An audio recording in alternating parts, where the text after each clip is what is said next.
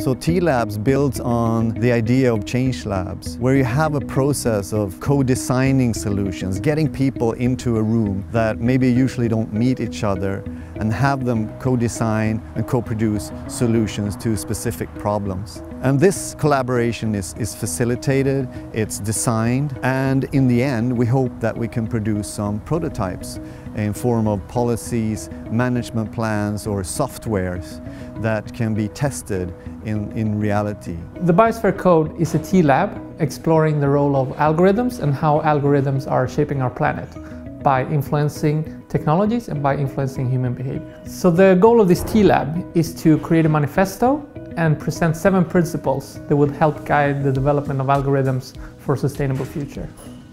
The value of the design process is that we know where we want to go and we just need to get all the ingredients to get there. The people, the team, the scenario, and we have that here, now. It was a very long process, many months of work, but it feels great and the energy is just right. An algorithm is a set of steps, each well defined and precise, that are typically done to achieve a certain goal. Algorithms can be software, but they can also be an, uh, formal rules for society or praxis in society. There used to only be a biosphere on planet Earth, but with the arrival of mankind, a whole new sphere is emerging, the technosphere. And in this technosphere, algorithms are doing all kinds of stuff. It's wonderful, but we need to also connect them to the biosphere because in the end it's, it's one whole planet. And I think this is the most important task for humanity today, to connect these algorithms in the technosphere with the existing biosphere.